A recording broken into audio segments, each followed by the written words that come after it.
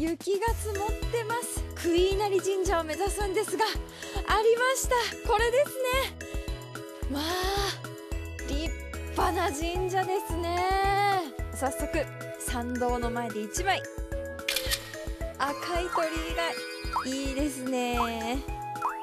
福井稲荷神社は日本最古の京都伏見稲荷大社の分霊で400年以上の歴史がある神社なんです。えあんなところに寒そうな格好をした人たちが。えこんにちは。こんにちは。皆さんどうしてこんな格好されてるんですか？これが冬の風物詩のはい。裸祭りの格好なんです。裸祭り？はい。三原の裸祭りは県内唯一の裸祭り。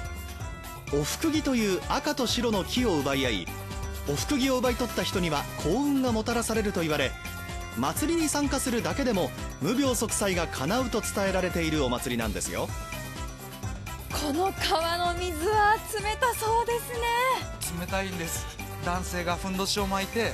この川へ飛び込んで体を清めて神社に走っていくお祭りなんです。もう寒いどころじゃないですよね。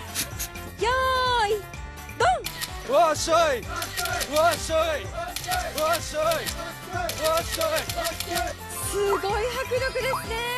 かっこいいです。そして去年から子供たちも楽しめる子供みこしを開催。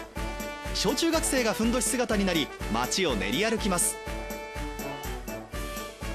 せーの。よいしょおー結構重たい。これでわっしょいわっしょいっしょじゃあ写真お願いします。はーい行きますよ。はい。こっち向いて。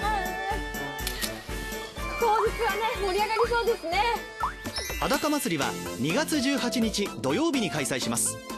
また三原観光協会では裸祭りバスツアーの参加者を募集中。締め切りは2月15日水曜日までです。餅まきも行う裸祭りにぜひ来てくださいね。次回は三原 B フェスで幸せ散歩